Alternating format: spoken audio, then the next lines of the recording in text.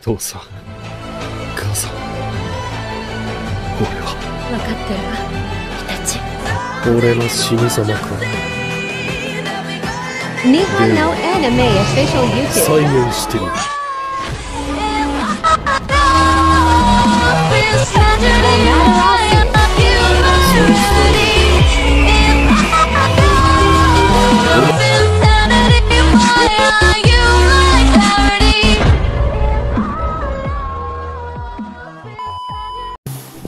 Assalamualaikum warahmatullahi wabarakatuh. Halo guys, balik lagi bersama saya Yusuf Kurnianto di channel Nihon Anime. Oke guys, jadi pada video kali ini saya akan bikin tutorial tentang game Genshin Impact ya. Nah, di video kali ini saya akan bikin tutorial gimana cara mengubah bahasa Dan cara untuk mengubah pengisi suara ya.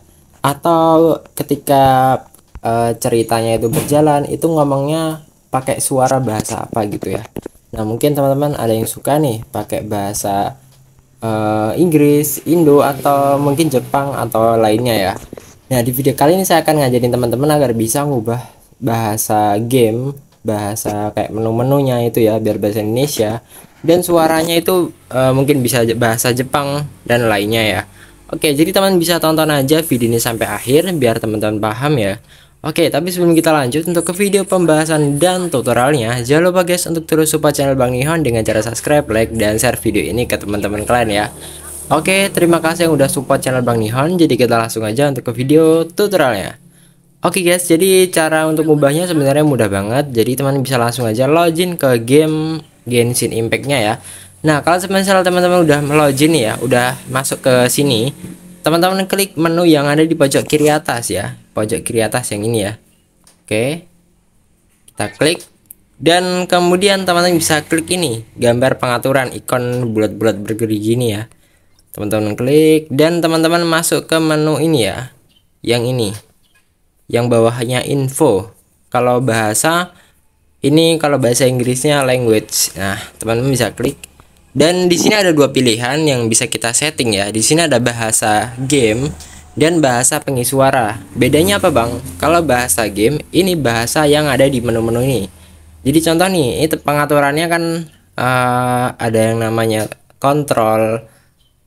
Kalau bahasa Inggris kan pakai C ya. Nah, ini tombol kalau di bahasa Inggrisnya button ya dan sebagainya ya nah jadi bahasa-bahasa yang ada di gamenya gitu ya oke untuk mengubah bahasa game gimana bang? Bisa diklik aja bagian sini.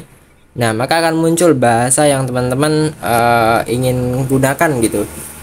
Kalau misal mungkin teman-teman lebih suka bahasa Inggris atau mungkin eh, paham bahasa lain bisa dipilih aja. Jadi untuk bahasa bisa dipilih aja ini bebas ya. Untuk bagian bahasa kita nggak perlu download ya. Oke, jadi nggak perlu download. Kalau bahasa ini udah tersedia, tinggal dipilih aja ya guys ya. Kalau saya biasanya pakai bahasa Indonesia yang tentunya lebih mudah dipahami gitu ya. Kalau nggak bahasa Inggris sih sebenarnya. Oke, di sini kita udah berhasil ya untuk cara ngubah bahasa game. Nanti eh, teman bisa eh, klik ya. Kalau mau ubah bisa diklik dan ini otomatis diterapin ya. Jadi nggak perlu di restart gamenya. Oke, saya pilih bahasa Indonesia. Dan untuk bahasa pengisi suara atau suara di gamenya, ini di sini ada empat pilihan ya ternyata. Di sini ada Mandarin, Inggris, Jepang, Korea. Nah untuk bahasa Indonesia belum ada ya. Semoga aja next ada dan mungkin bahasa lainnya. Dan di sini untuk bahasa pengisi suara atau omong-omongannya itu percakapannya gitu ya. Ini kita harus download dulu ya. Kalau untuk secara default itu bahasa Inggris yang udah terdownload gitu. Nah, mungkin teman-teman ada yang suka bahasa Mandarin ya atau lebih serk gitu ya. Jadi bisa pilih Mandarin dan mungkin kalau misal teman-teman netral gitu ya, mungkin bahasa Inggris aja ya guys ya. Dan kalau misal teman-teman suka nih biar kayak anime gitu ya, kayak film-film anime, mungkin eh, teman-teman suka bisa pilih bahasa Jepang ya. Tapi di sini kita harus download dulu ya untuk eh, bahas apa namanya? bahasa pengisi suara lainnya ya. Dan sini ada Korea juga, mungkin teman-teman suka pakai suara-suara dari eh, bahasa Korea bisa dipilih ya guys ya. Nah, untuk ukurannya sebenarnya lumayan juga ya, lumayan gede ya. Sekitar 4 sampai 5 giga di sini ya, bisa dipilih salah satu.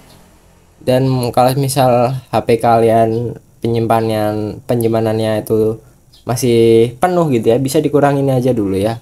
karena emang bener-bener gede ya 4 sampai 5 giga Nah, saran tadi saran dari saya teman bisa cek dulu penyimpanan HP teman-teman ya, jangan sampai penuh gitu ya. Nanti takutnya malah bikin nge-lag pas main game gitu. Jadi teman bisa cek dulu penyimpanannya apakah cukup atau enggak nih ya. Kalau misalnya cukup ya bisa di download aja, mungkin 0 sampai 100 giga atau mungkin 50 giga itu bisa ya. Tapi kalau semisal teman-teman penyimpanannya penuh, sisa 1 giga itu nggak bisa ya guys ya Nah, karena kita kalau mau download kan 4 sampai 5 giga harus kosong ya. Saran dari saya bisa lebih dikosongkan aja ya lebih banyak. Semakin banyak dikosongkan semakin bagus ya karena itu mempengaruhi pada saat kita uh, menggunakan game ya. Jadi saat bermain game itu ngaruh ya sebenarnya. Kalau misal uh, penyimpanannya penuh itu bisa bikin HP-nya panas juga ya. Jadi kayak nge-lag juga ya, responnya kurang cepat. Nah, bisa dicek-cek dulu aja nanti ya di pengaturan. Nah, kalau misal teman-teman ingin download uh, bahasa bisa diklik aja nih. Contoh kita akan download bahasa Jepang ya, bisa diklik OK. Dan di sini ada pemberitahuan ya pakai data seluler saya ya. Oke, bisa klik OK kalau misalnya download. Nah, ini teman-teman bisa tunggu aja sampai prosesnya selesai ya. Kalau balik di sini nggak bisa balik ya, kita harus nunggu. Nah, jadi intinya bisa download sampai selesai terus klik OK ya atau gunakan bahasa ya jadi nanti di sini tinggal dipilih aja kayak bahasa gini ya dipilih gitu nanti akan berubah ya. Kalau misal emang disuruh restart ya bisa di restart dulu ya guys ya. Oke jadi caranya semudah itu sesimpel itu ya guys ya. Nah di sini btw kalau saya lebih suka pakai bahasa Indonesia kalau untuk pengisi suara mungkin Inggris Jepang oke okay lah ya. Oke jadi itu adalah tutorial cara untuk ganti bahasa di game dan ganti suara uh, di gamenya ya, ya. Oke semoga bermanfaat tutorial yang saya berikan. Dan sebelum saya tutup video kali ini mohon dukungannya guys untuk terus support channel Bang Nihon dengan cara subscribe, like, dan share video ini ke teman-teman kalian ya guys ya.